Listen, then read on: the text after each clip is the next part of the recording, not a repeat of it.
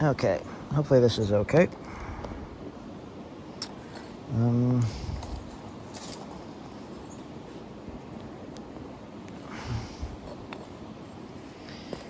what should we make? Maybe a fishtail? I can't chip this super thin without getting steppy, which is fine. Some things can be steppy, but I'm gonna chip a modern piece and try to sell it. People want stuff that's squeaky clean.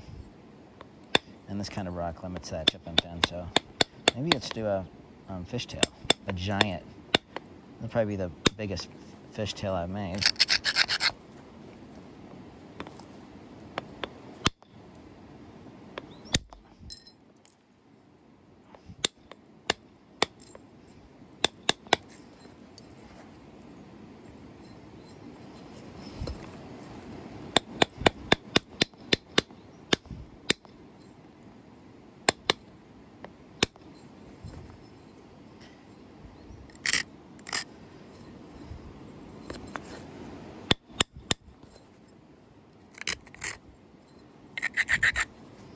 I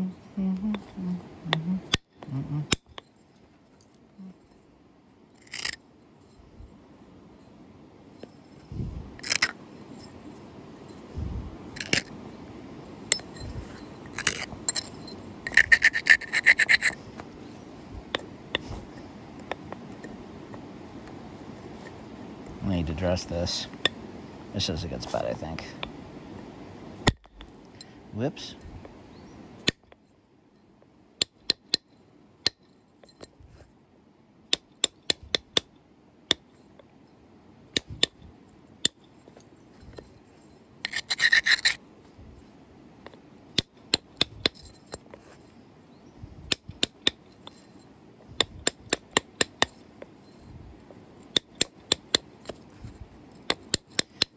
Of going to be a width eater on the bottom because we didn't know what we were going to make. Earlier, I would have done the preform differently, but it's okay to do that.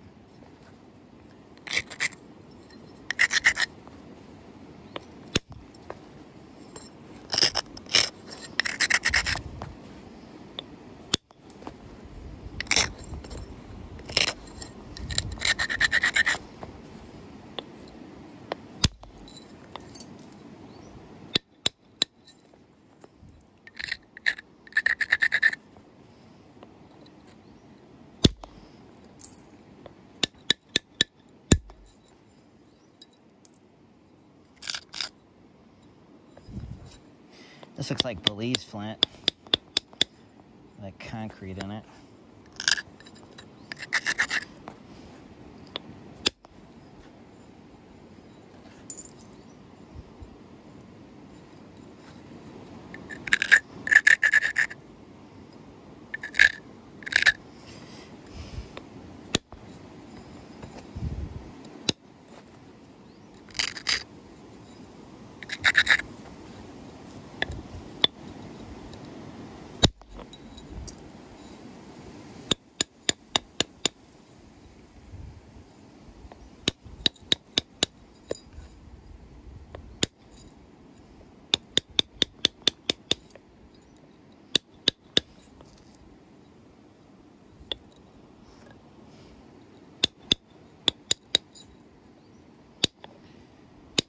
Don't feel like talking. Hope you don't mind.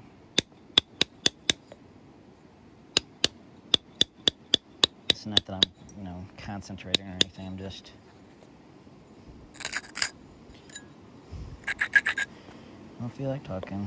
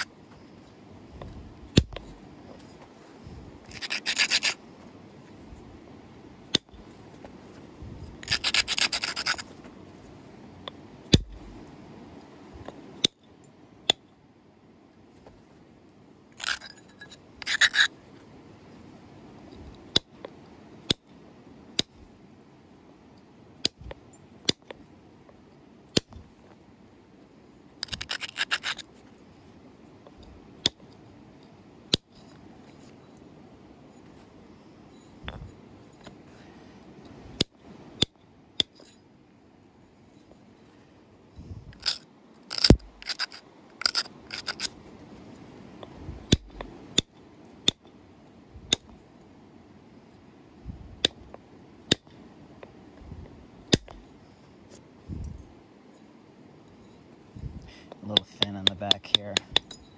And we had that concrete to chip up to or off.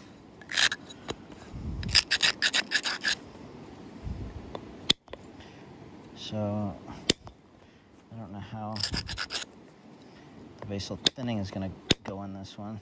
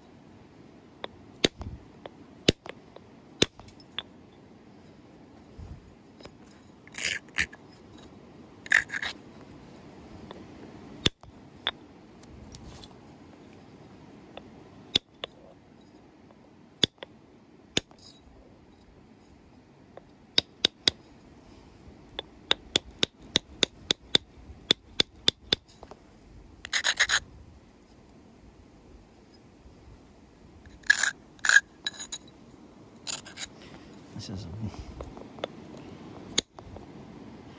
really crappy area up here.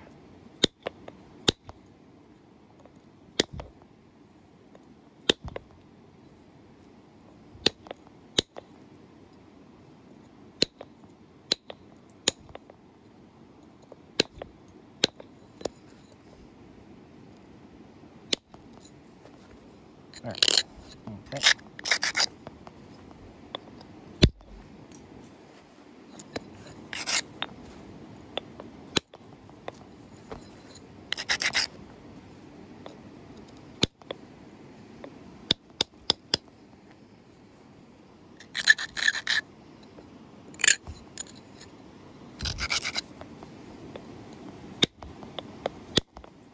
That is tough.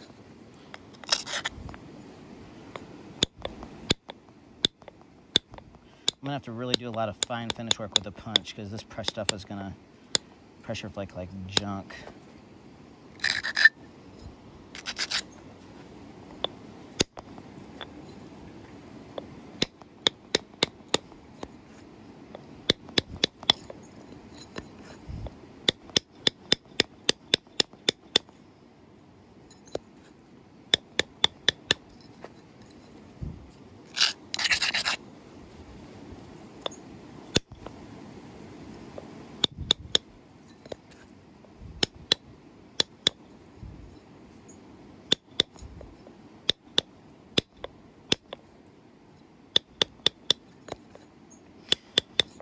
Got to build contours so that this finished work doesn't get steppy.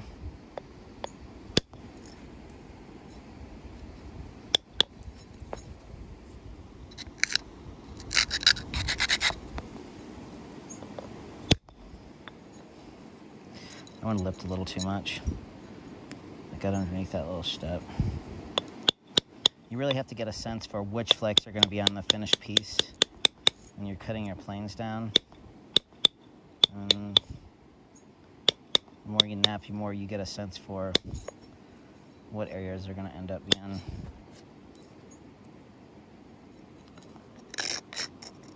You know, you don't want to get a step on a, a flake that's going to be on the finished piece.